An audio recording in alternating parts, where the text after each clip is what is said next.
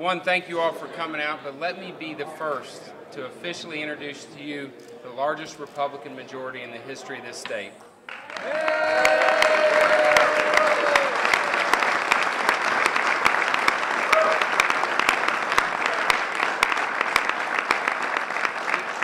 You know, when we walk in here, I'm beginning to reflect. When I was a kid, my oldest brother, uh, his favorite movie was the movie Jaws. And in a portion of that movie, Roy Scheider goes, I think we're going to need a bigger boat. and, uh, and I tell you what, if we have an, another election cycle like 2010, we're going to need a bigger room. You know. But uh, anyway, thank you all for coming out here. It's an exciting day. We have a lot of new members who, who, who now have the honor and the privilege to serve in the Missouri House. Uh, with the speech from the pro tem and myself, uh, we laid out a pretty definitive plan. Uh, that first and foremost, we wanted to lead by example. If we're going to be asking citizens across this state to do more with less, then so should state government.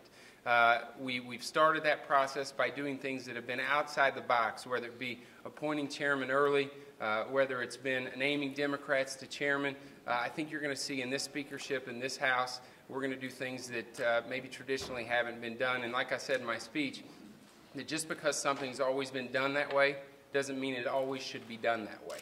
And uh, so it's going to be a unique perspective. Uh, we also laid out the Show Me Solutions initiative, which basically starts with a pledge. And it's a pledge that we heard the voters loud and clear that we're going to balance the state budget, we're going to force government to live within its means, and we're going to hold the line on taxes, period.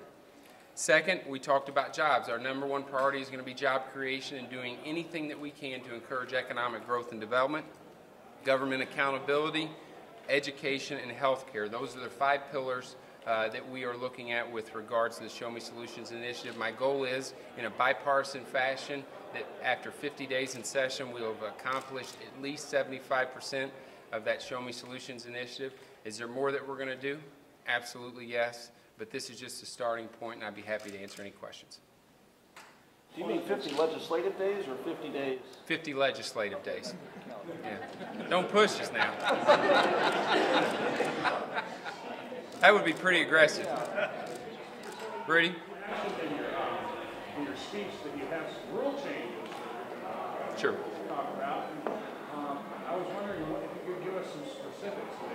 They meals or gifts no, well, I mean, basically, here's what we're going to do with the rules. First and foremost, we're going to remove the partisan control uh, of committees. Uh, the way it works, Rudy, is if you have a, a, regular standing committee, the speaker appoints the majority members, the minority leader appoints the minority members. On special committees, the speaker appoints everyone. And uh, that we expanded the special committees under Republican control. Uh, it reduces the influence of the minority.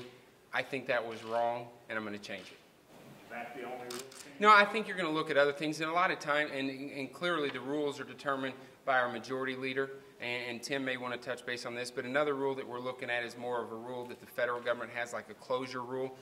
Many times we'll have a bill come up on the House floor, and there's no discussion on the underlying bill. There's just 50 different amendments. And I think that's not necessarily good for the process. And so, under certain circumstances, we're looking at doing a closed rule where there will be no amendments and the discussion will be on the underlying bill. And if it's an issue that's a, it's a big issue for the state, I think that's probably good government. And uh, that's probably the direction we're going to go in. And there may be other changes that, uh, that Representative Jones, our majority leader, may want to institute, and I'm sure we're going to be visiting uh, very shortly on those issues. A lot of folks in the Kansas City, Missouri School District are concerned about what's going to happen with education funding, uh, and of course, parents throughout the state with the college funding. Sure. Uh, everyone, all signs point towards huge education cuts. What can you tell parents who are thinking about well, well, you know, I would say this: that one, uh, that citizens expect us to live within our means. And that means we have to make difficult decisions. And it also means that we have to prioritize what we think is most important with regards to funding state government. And I will tell you, and I think that caucus would agree with me, that the number one priority for our state government is to fund public education.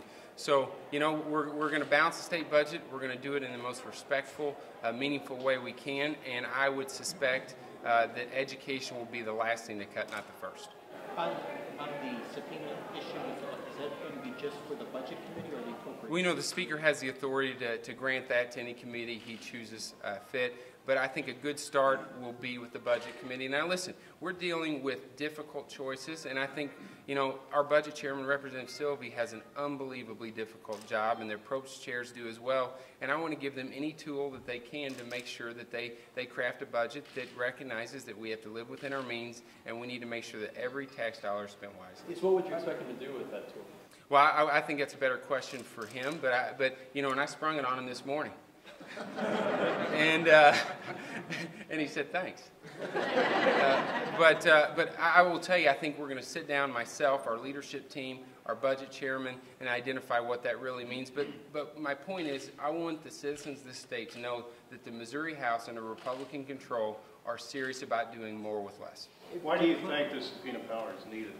Well, I think it, it brings a level of seriousness to it. It requires people that are compelled to come in and visit. And, you know, I mean, I'm not saying, I, and we're looking at the logistics of it, whether we can swear them in or whether they have, or they're forced to swear in. Uh, I think that's a little bit murky and, and we're not sure yet. But what we want people to know from day one is that if we're going to be in a situation where we may have to cut education, where we may have to cut things across the state that are vital, that we're going to do everything we can to cut elsewhere first. Th- Does it set up a conflict between the executive and the legislative branch? Well, at times there's a conflict between the executive and the legislative branch. Uh, and listen, my job is to run this House in a manner that's best for the citizens of the state. And if it means giving subpoena power to the budget chairman, that's exactly what I'm going to do. Are you envisioning doing this essentially as you have the subpoena power, use it however you want? Or is it, if, if there is some, where you feel that the budget committee's not getting the answers it's asking? Well, I, I think that's a, that's uh, a decision that we'll make if that occurs. My hope is that all departments understand. I mentioned this in the, in our in the speech that we want to work with departments to make sure that they're efficient. We just don't want requests for more money. And uh, uh, I can let Ryan Silvey quote what's uh, the sign that's outside his office, but it's exactly how I feel. Some, what's, what's it say? It says, Welcome to the House Budget Office. Please ask yourself two questions. One, am I here to ask the chairman for more money than last year? If the answer is yes, proceed to question two. Have you lost your mind? I mean, that's, that's really where we're at. So, you know, I, I chose Ryan as the budget chairman because he's a bright, talented guy. And, but clearly, if we grant him subpoena power, I'm sure that he'll work with our leadership team to determine the parameters that he uses that. Can you give us an instance where this administration has been uncooperative to the point where you feel you need the subpoena power? Well, I mean, I would say this that I think it's a good start to start with. We want to have an open and transparent government. Yeah, I mean, you look at how the budget was done last year, how budget was submitted that he readily admitted was out of balance, and then we worry about we discuss a consensus revenue estimate. His own budget uh, director in an email said it's like throwing a dart at a dartboard. I just think it's important to have openness and transparency, Rudy, and I think this would help do it.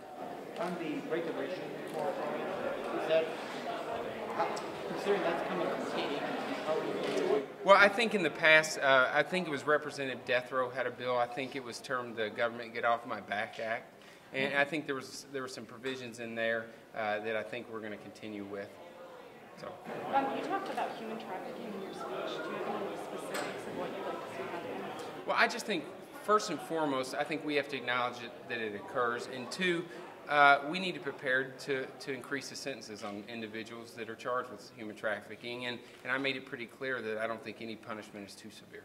What do you think is really going to happen with the puppy mill repeal effort? And what do you think about, you know, the other side saying that you're subverting the will of the people if you repeal that? Well, I would- I would say this, that a lot of times you have an initiative petition that, that maybe has some unintended consequences. And I think there's a lot of discussion, not just within my caucus, but actually on the other side of the aisle as well, that there's concerns that it could affect family farmers and livestock. And so, you know, if there's bills that are filed that addresses that, I'm going to do what I do with every other bill. I'm going to refer it.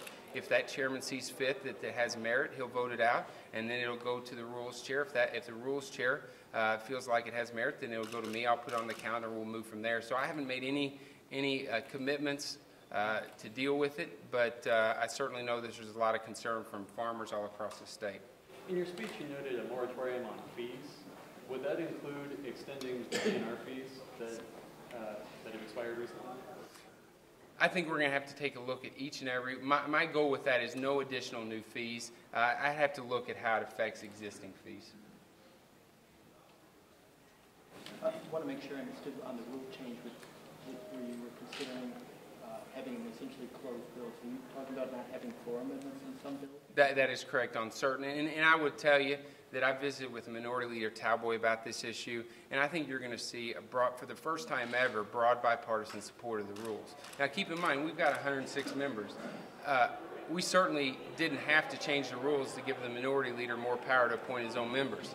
I did that because I think that's good government. I think the two-party system is good, and I think when both parties participate in it, you've got a better, better outcome. And so, uh, you know, I think. Uh, it would be used very, very sparingly, and I've already visited with Minority Leader So what about would it. be your criteria for Bill's Road? That will be the, at the discretion of the Rules Chair.